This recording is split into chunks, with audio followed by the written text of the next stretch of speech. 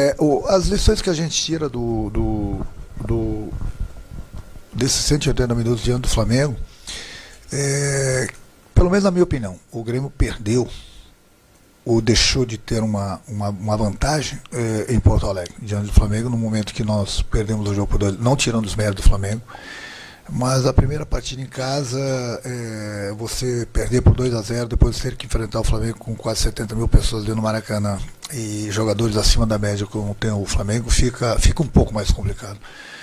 Por isso que eu falei depois do, do primeiro jogo lá em que ia ser difícil. Mas o que, o que tira de lição, eu, eu, eu tô aplaudindo o meu grupo.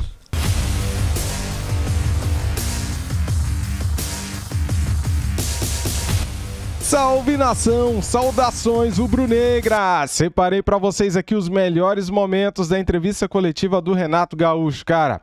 Olha o que ele falou de mais uma derrota para o Flamengo. É a terceira no ano. Ah, mas o Flamengo é diferenciado, o Flamengo é muito bom.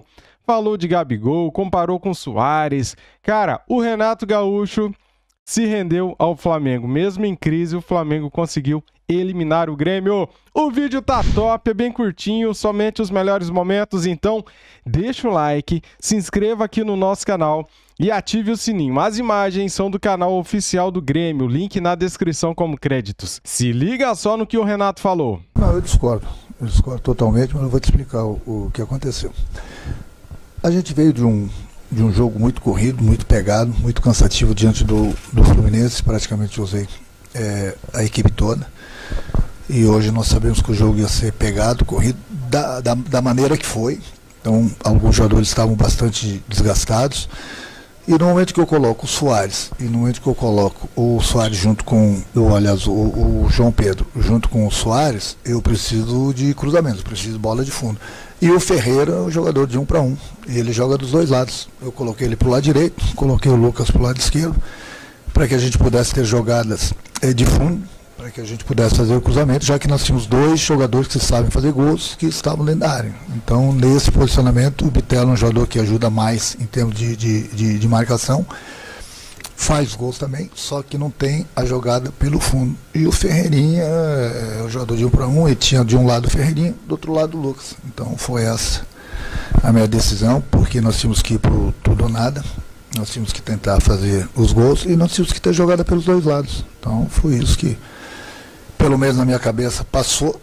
E até porque eu tinha jogadores desgastados também né, do último jogo diante do, do Fluminense. É, o que dá para tirar de, de lição desses dois confrontos que o Grêmio teve contra o Flamengo para a sequência da temporada do Campeonato Brasileiro, onde o Grêmio está na ponta de cima da tabela.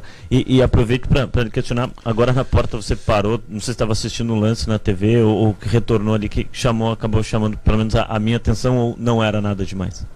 Não, era uma camisa que o Gabigol tinha é, pedido para segurança, eu tinha entregue, mandaram entregar ele, ele passou por mim, eu conversei com ele, eles não tinham entregue ainda ele. E então mandei entregar sobre isso aí, foi isso. É, o, as lições que a gente tira do, do, do desses 180 minutos diante do Flamengo, é, pelo menos na minha opinião, o Grêmio perdeu ou deixou de ter uma, uma, uma vantagem é, em Porto Alegre, diante do Flamengo, no momento que nós perdemos o jogo por dois, não tirando os méritos do Flamengo, mas a primeira partida em casa, é, você perder por 2 a 0 depois de ter que enfrentar o Flamengo com quase 70 mil pessoas ali no Maracanã e jogadores acima da média como tem o Flamengo, fica, fica um pouco mais complicado. Por isso que eu falei depois do, do primeiro jogo lá em que ia ser difícil. Mas o que, o que tira de lição, eu eu, eu tô aplaudindo o meu grupo. Apesar da desclassificação, até porque nós enfrentamos uma grande equipe. Volta a repetir, perdemos praticamente essa vaga lá em Porto Alegre. Hoje jogamos novamente de igual para igual com, com o Flamengo. E não é fácil jogar de igual para igual.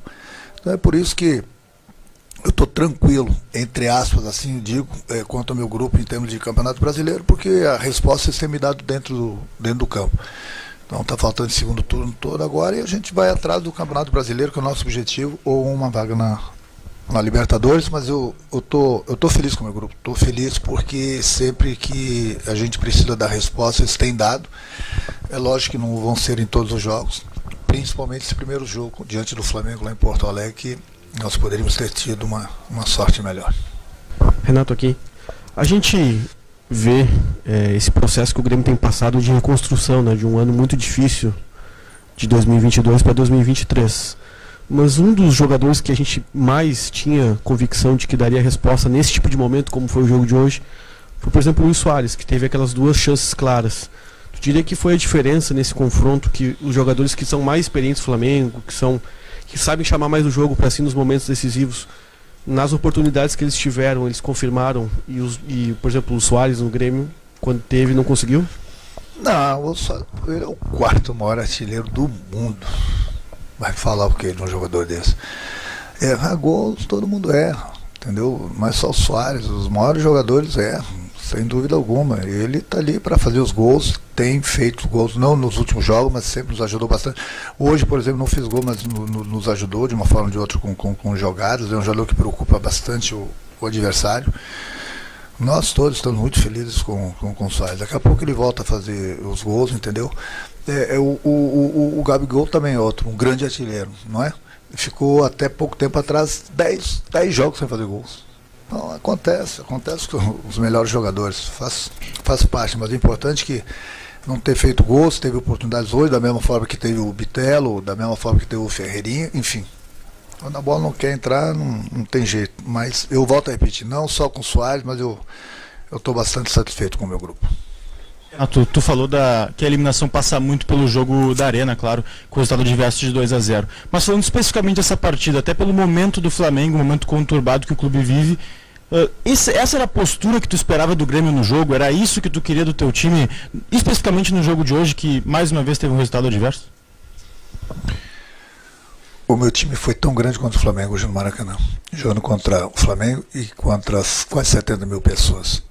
E de um jogo que o Flamengo tinha vantagem de, de dois gols.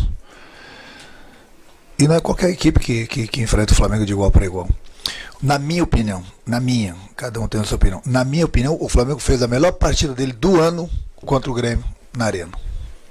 E soube aproveitar as oportunidades e fez dois gols. E trouxe para o Rio de Janeiro uma grande vantagem. E o Grêmio veio aqui e jogou de igual para igual. Perdeu o jogo de novo hoje, que eu não vou nem falar do pênalti. Perdeu o jogo de novo, Acontece, o Flamengo teve algumas oportunidades, conseguiu fazer o gol de pênalti. Nós tivemos algumas oportunidades, não fizemos os gols. Mas eu tenho que ver num todo o que aconteceu. Num todo, o Grêmio jogou de igual para igual de novo com o Flamengo. Eu gostaria de ver quantas equipes vêm aqui no Maracanã e jogam de igual para igual. E o Flamengo, na minha opinião, não foi superior ao Grêmio hoje, não. Por isso que né? E o Flamengo tem jogadores a nível de seleção brasileira, a nível de seleção de, de, de, de outros países, entendeu? Jogadores diferenciados, montaram um grupo justamente para ganhar, para chegar. E o Grêmio, como o teu colega mesmo falou, o Grêmio está num ano de reestruturação, entendeu?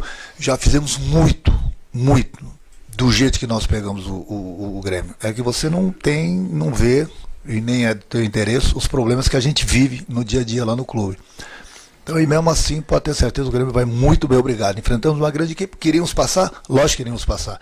Mas o que eu falei, a nossa infelicidade foi lá na Arena. Lá na Arena, o Flamengo buscou uma, uma boa vantagem, que na minha opinião, volto a repetir, foi a melhor partida do Flamengo do ano. E infelizmente foi contra a gente. Ah, você atribui a, a desclassificação do Grêmio muito para esse jogo de, de ida lá em Porto Alegre, mas o que, que você considera, por que, que o Grêmio, de certa forma, é, demorou para entrar nesse confronto contra o Flamengo, porque realmente hoje foi uma, uma boa partida do Grêmio, muito melhor que o jogo de ida lá em Porto Alegre, mas por que, que houve essa, essa demora para o Grêmio enfrentar o, o Flamengo mais assim, de igual para igual? O Flamengo foi feliz, ele teve a melhor atuação, a melhor atuação do Flamengo do ano, na minha opinião, foi lá em Porto Alegre contra a gente, infelizmente. Se aproveitou, conseguiu dois gols de, de vantagem. Não é toda hora que você vai, vai jogar bem. Infelizmente, naquele dia o Grêmio não teve tão bem. E o Flamengo teve. É simples, aproveitou. O futebol é, é você fazer os gols. E o Flamengo fez os gols lá. Tanto é que hoje, aqui mesmo no Maracanã, nós enfrentamos o Flamengo de igual para igual. Na minha opinião, o Grêmio foi melhor, mas infelizmente não fizemos os gols que a gente precisava. Renato, é, no outro jogo lá em Porto Alegre, eu te perguntei sobre a questão psicológica né, dos jogadores de meio campo claramente eh, não quis expor e está tá correto, trabalha assim com a tua equipe, fala realmente é, do time como um todo. Hoje parece que o Grêmio jogou mais solto, realmente. Uh, o Grêmio era basicamente um franco atirador na partida. Veio para cá com 2 a 0 e o Grêmio jogou mais solto. Uh, mas deu para notar também que o Flamengo foi muito menos intenso também, e vencendo nos últimos jogos, menos intenso. É um time uh, que corre menos do que aquele jogo do 2 a 0 O Grêmio não conseguiu se impor também hoje, principalmente na última bola tem a ver também com essa questão psicológica dessas derrotas seguidas para o Flamengo nos últimos jogos, essa bola não entrar, essa última bola ter um pouquinho mais de tranquilidade para fazer o gol? Não, não a, a, tranquilidade sempre passa por eles, para eles terem a tranquilidade no último passe, na hora de definir a jogada, na hora de definir o cruzamento, chute a gol, para eles terem a tranquilidade. Mas a parte psicológica do, do, do, meu grupo ela vai muito bem, obrigado. Não é porque a gente não tem vencido o Flamengo. O Flamengo, o Flamengo é o Flamengo. O Flamengo ele monta um grupo para chegar, para ganhar. E o Grêmio chegou junto com o Flamengo. O Flamengo nas últimas partidas, o Flamengo venceu o Grêmio, mas se você for analisar, tirar aquela partida lá de Porto Alegre, dessa da primeira da, da, da semifinal da Copa do Brasil, o Grêmio foi melhor do Flamengo em todos os jogos. Aí você vai falar, mas o Flamengo venceu, sim, o que vale é bola na rede. Mas o Grêmio jogou de igual para igual e foi melhor. Então, estou muito tranquilo. Volto a repetir com o meu grupo, agora é pensar, juntar as forças para o Campeonato Brasileiro. E a partir da manhã a gente já pensa no, no Santos. Começa o retorno. E o Grêmio tem seus objetivos no brasileiro também. Para você que assistiu o vídeo até aqui, ó, muito obrigado. Deixa o seu like, inscreva-se no canal e ative o sininho para não perder nada. Vou trazer muitos vídeos bacanas aqui para o nosso canal sobre esta classificação do Mengão em cima do Grêmio. Vamos pegar o São Paulo nos dias 17 e 24 de setembro, dois domingos. Legal, né? Gostei das datas. Valeu, galera. Tamo juntos. Isso aqui, ó, é Flamengo. Saudações rubro-negras. Fui.